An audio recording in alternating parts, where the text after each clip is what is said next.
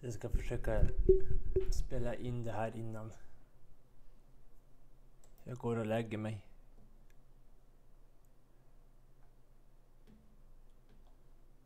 Eh, så... Eh, så biskop Anders Holmberg och eh, Martin Modéus har gjort ett uttalande.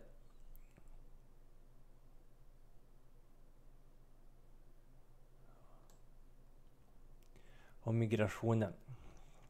Eller om, om, om gymnasieungdomarna. Framtida generationer kommer fråga sig om vår migrationspolitik var mänskligt hållbar. De 7500 ungdomar som idag eller tidigare har omfattats av gymnasielagen har utsatts för osäkerhet och lidande. Vi vädjar till riksdagspolitikerna att ge dem amnesti, skriver biskoparna Andreas Holmberg och Martin Modus. Ja, alltså med tanke på alla de omständigheter som vi har gått igenom både med... Eh, med... Alltså, så, så, bara för Eh, både med det att... Med pandemin och också... Allt som pandemin innebär med problem att hitta jobb och, och det att om du har haft kommuner som inte har... Eh, ja skött skolan ordentligt till exempel så kan eh, de här ungdomarna falla mellan stolarna på grund av det och därmed så får de inte en rättvis chans. Så att eh, det enda humana att göra i det här fallet eh, är att eh, ge dem amnesti. Eh, och för den som då tänker att ja men eh, varför ska man hjälpa immigranterna med det här? Kan vi inte hjälpa våra egna först? Eh, så ska du veta att den person som tänker att vi kan uppföra oss så här mot... Vi ska inte vidta eh, ja, humana åtgärder. De här åtgärderna för människor som faktiskt har försökt följa de regler vi har satt upp. Eh, de de människor som kan fatta det beslutet, de kommer inte bry sig om dig heller. Alltså, om, det, om du har vuxit upp här och levt hela ditt liv och jobbat. De kommer inte bry sig om, om dig heller när, när du behöver hjälp. Så att stötta inte folk som bedriver inhuman policy. Eh,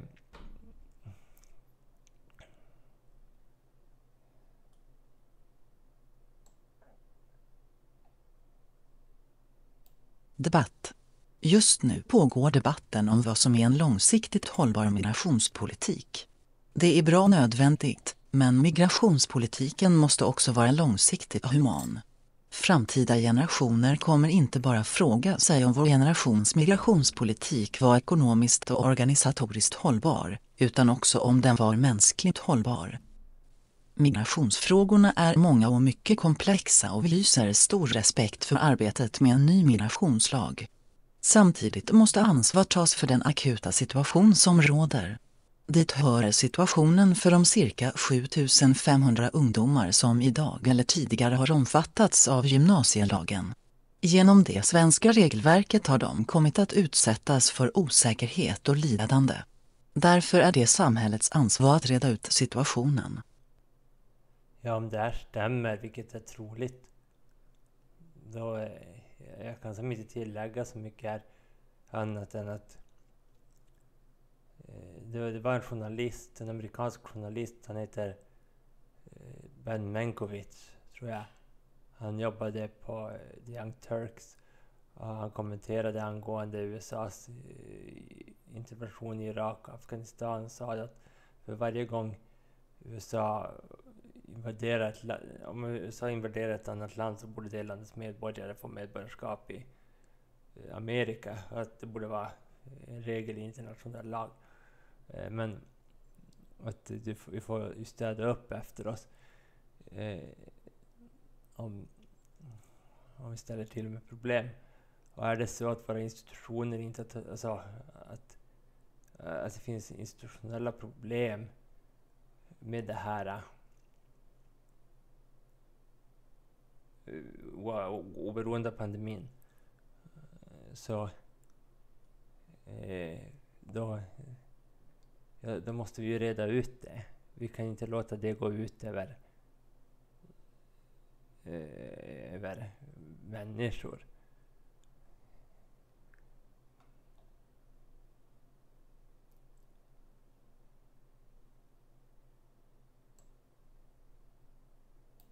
Sätt stopp för den ovärdiga hanteringen.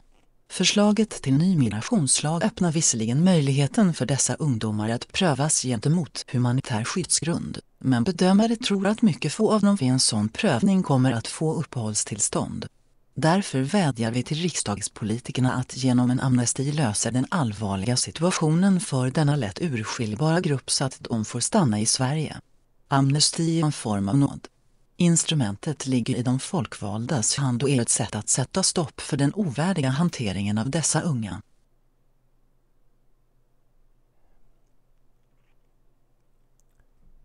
Mm.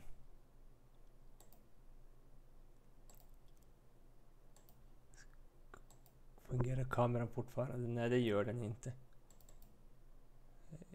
Elände.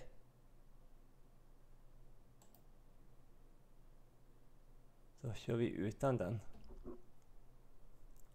Alltså, så plockar jag upp mikrofonen en bit så att jag hörs. Men... Eh, eh,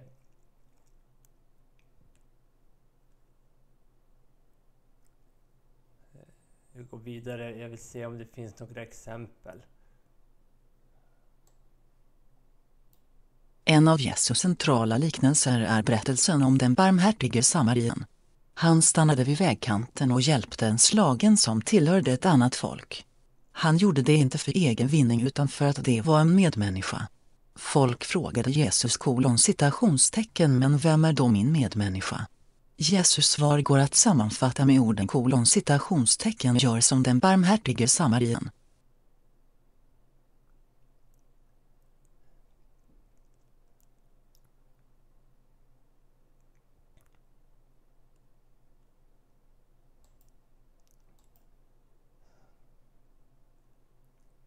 Så eh, en, en jämförelse skulle väl vara Alltså samarierna var en judisk grupp eh, som inte respekterades av mainstream. Eh, om, jag inte minns fel. Mm, och eh, men då skulle... Alltså de är, att den här, trots det, trots att de inte tillhörde samma... Eh, alltså... Så hjälpte den här mannen, den somaliska mannen hjälpte den här eh, mannen som hade blivit nedslagen. Och han betalade för, ur egen ficka för för att den här mannen skulle bli intagen på ett värdhus och bli om, alltså, och få hjälp. Eh, så... Eh,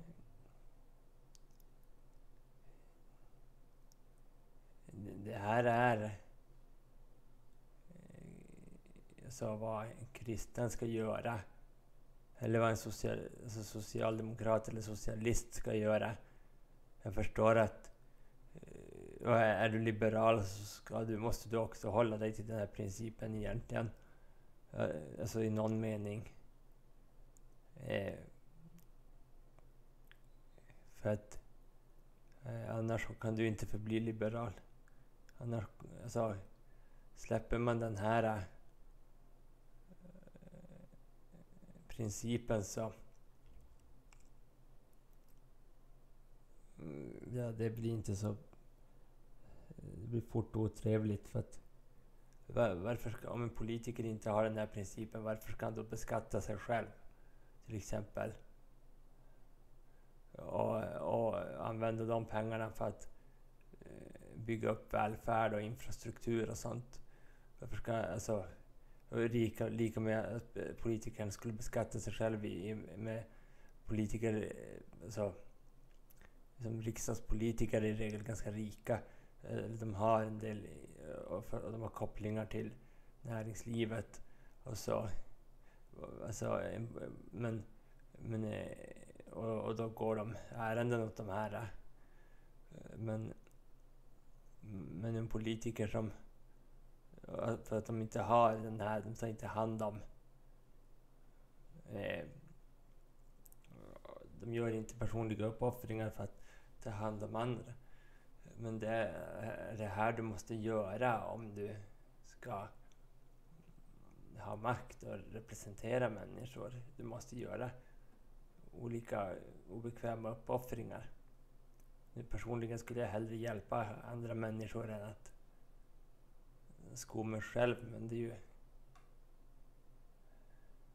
som eh, när jag brukade ge pengar åt EU-migranterna när de var här. Eh, det, det hjälpte dem ju i och för sig inte så mycket, men åtminstone att de blev på bra humör. Så att...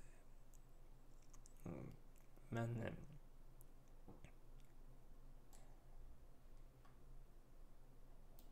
en hörnpelare i det kristna arvet.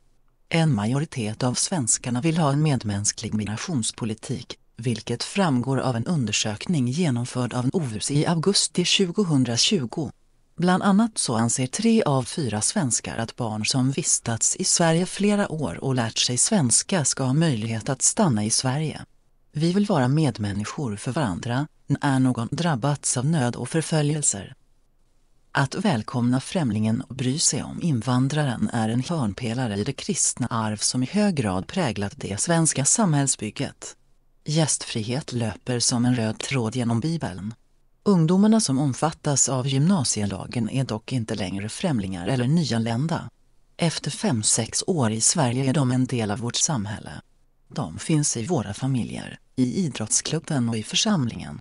De är våra vänner och klasskamrater, våra barn och syskon. De kan svenska, utbildar sig och vill bidra till det fortsatta bygget av Sverige. De är inte längre de utan en del av oss.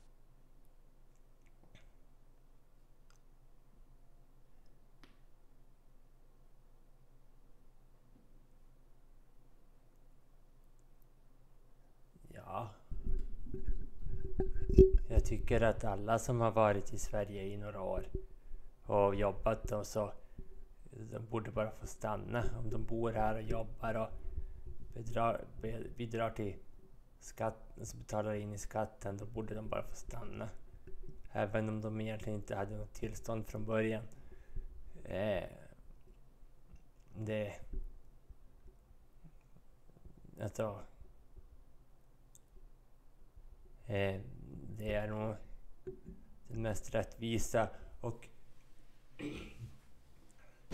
Eh, alltså sunda åtgärden, inte bara för de här individerna. Utan för, skulle man börja ha sådana regler så... Eh, eh,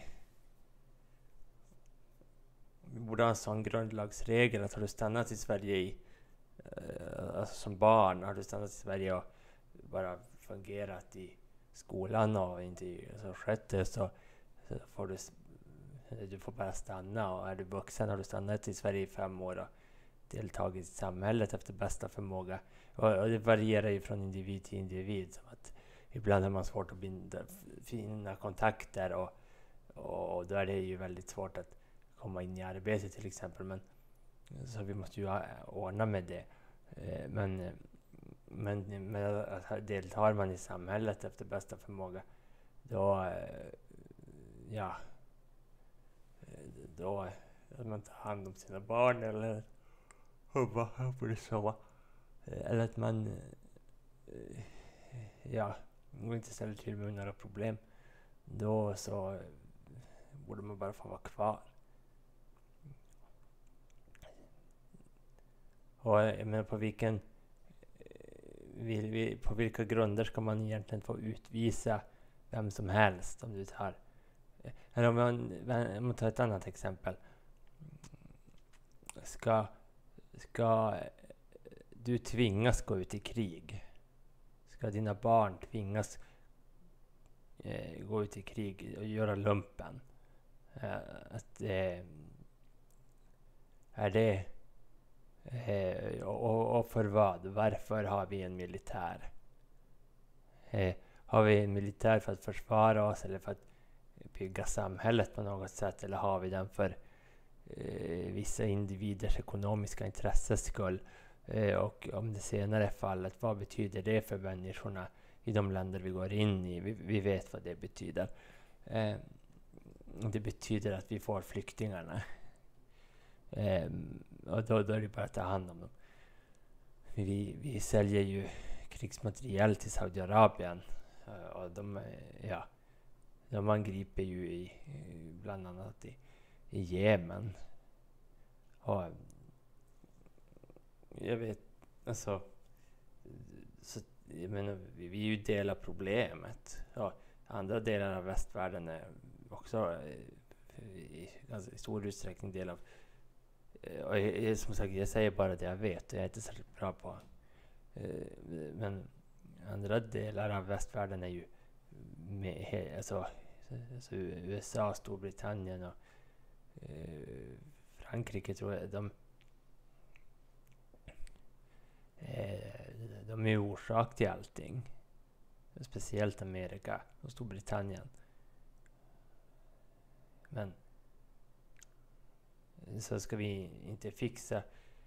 Eh, att om folk kommer hit och sköter sig så borde vi bara ta hand om dem. En svår gräns att dra. Ändå vill många riksdagspolitiker att de ska utvisas. Om de inte klarar av sina gymnasiestudier i tid väntar utvisning.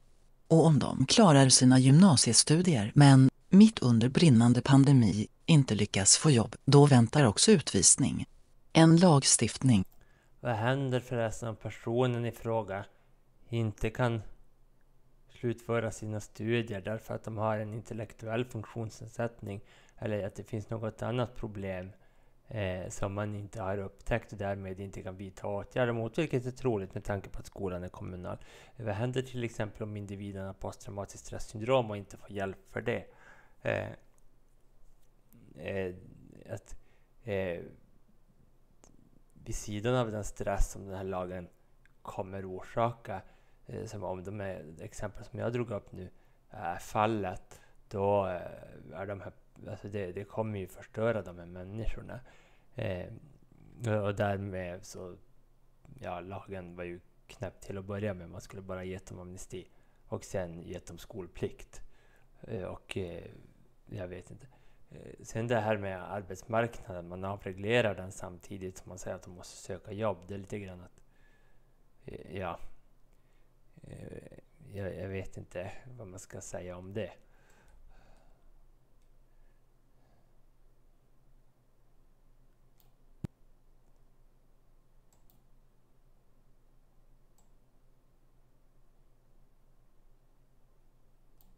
En lagstiftning som får de konsekvenserna är ovärdigt ett samhälle som Sverige. Det är svårt att dra gränser och vi är fullt införstådda med att migrationspolitik måste dra gränser.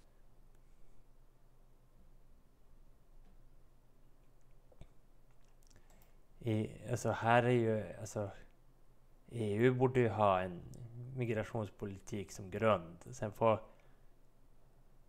andra länder, alltså medlemsländerna, organisera utöver det. Men, men eh, EU borde ha en grundläggande socialpolitik som alla måste följa. Eh, det är en sak EU skulle vara bra för. Det är därför jag är för att stanna i unionen. En av orsakerna är för att stanna i unionen, för vi skulle faktiskt kunna organisera någonting sånt Eh, men... Eh, eh,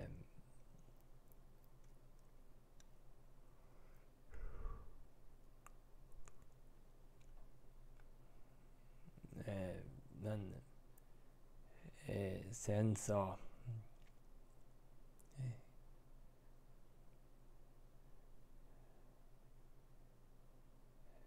eh men...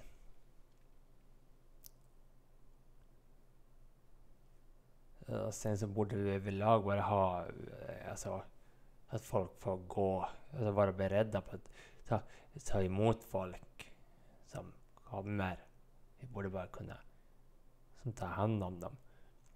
Vi, vi är inte förberedda på det. Eh, precis som vi borde förresten vara beredda på att ta hand om en åldrande befolkning eller, eller en pan, människor när en pandemi kommer. Och så. Vi borde bara vara, alltså, ha en relativ kapacitet att ta hand om sånt. Eh, och sen tänker jag att eh, jag har mött, eh, nu för några år sedan i och för sig, men jag har mött väldigt många människor som har eh, tagit in flyktingar i sina hem. Och alltså bara vikt sitt liv åt att ta hand de har gömt flyktingar och så har de tagit hand om individer. De jobbar, alltså de är stor orsak till att mm, människor integreras i samhället och mår bra så. Eh, när jag gick på Älvsbyns folkhögskola så var det en lärare som hon, eh, hon eller det var två stycken som jag vet om var engagerade. Eh, och Eh, så... Men så... Jag undrar... Eh, och, och, och, eh, och vet du det? Eh, Andreas Holmberg och Martin Moraeus borde ju kunna svara på. De borde ju veta, det, det är bättre än vad jag vet det. Eh, att eh, hur finns det, alltså Eh, det finns familjer som eh, skulle öppna sina eh, alltså, hjärtan och armar för att hjälpa till, att hjälpa de här människorna eh, i princip på sina egna, med sina egna resurser.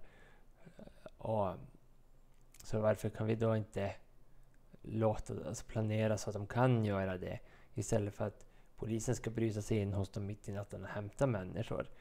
Eh, att eh, varför kan vi inte bara ha en sån ordning? Eh, jag menar naturligtvis måste det vara i begränsad utsträckning det är med, men, eh, men det borde ändå finnas en möjlighet.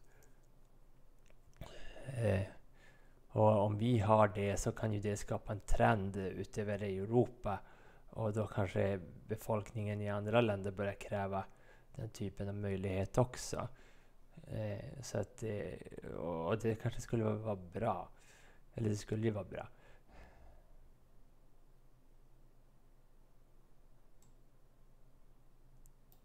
Att det är svårt får dock inte bli en ursäkt för att dra en så snäv gräns som möjligt. Mm. Varje form av amnesti kommer att vara inkonsekvent. Det går inte att undvika. Men det nuvarande läget är inkonsekvent i förhållande till vårt samhälles och den kristna trons grundläggande syn på människans värde. Den inkonsekvensen är värre och på sikt kommer den att urholka synen på människovärdet. Ja, det är sant. Risken att... Eller det har nog redan hänt. Om Stefan Löfven och alltså, alltså regeringen inte sätter upp alltså en eh, överlag när det kommer till välfärdspolitik och migrationspolitik och you name it. Sätta upp en plan. Alltså det här måste vi följa. Eh, för att eh, annars kommer människor fara illa. Och, och trycker på oppositionen. och säger nu får ni faktiskt gå med på det här. För att annars så eh, ja, kommer vi ju använda det mot er i valet. om de inte gör det så kan vi inte få någon ordning på det här. Eh, och, eh, ja, det, det, kommer bara bli råare och råare. Eh, om, I så fall. Eh, så... Men det är det som är problemet. Att, att, eh, att ta på sig ledartröjan och... Eh, ja. Så det, det men människor är inte så bra på att göra det. Jag kanske ska bli statsminister. Men... Så lyssna på Jesus. I kristen tradition är barmhärtighet av central betydelse. Barmhärtighet är ofta inkonsekvent och kan anklagas för att vara orättvis. Den låter nåd gå före rätt och är ointresserad av signalpolitik. Men den är mänsklig och grunden för den sortens samhälle vi vill vara en del av. Ett samhälles grad av civilisation mäts inte i BNP eller ekonomisk tillväxt, utan i hur det behandlar de mest utsatta. Dessa minsta som är mina syskon, som Jesus uttrycker det. Eh, ja. Vi har ganska bra BNP, men vi har också väldigt mycket utanförskap. Eh, det finns också en massa andra problem, men eh, vi har en massa sociala problem att ta hand om. Eh, ja, väldigt... Mm, mm. Eh, men må, syftet är inte att göra det, syftet är någonting annat. Så... Eh, om du är så här, om du är oroad för någon annan eller om du är missnöjd med din egen situation. Eh, ja, så Riks kommer inte hjälpa dig och Sverigedemokraterna kommer inte hjälpa dig och KD och Moderaterna kommer inte heller hjälpa dig och inte Socialdemokraterna gör så mycket heller men det vi behöver är en gräsrotsnivå, eh, gräsrotsrörelse som där vi alla tar hand om varandra och för talan för oss själva. Vi för, och att vi får talan för de som inte kan stå upp för sig själva. I det här fallet ja, gymnasieeleverna, men flyktingar överlag också. Och, eh, och, andra som inte kan stå upp för sig själva. Eh, det... Eh, ja... Mm, att du ska älska din nästa som dig själv. Ha Gud över allting annat. Detta är hela Mose lag och allt vad profeterna talar om. Allting annat är bara kommentarer, säger Jesus. Ska du ställa upp i kyrkovalet så bör du hålla det här i åtanke. Om du, eh, om du inte är troende så kan du åtminstone ta den första delen och leva efter det. Eh, för att... Ja.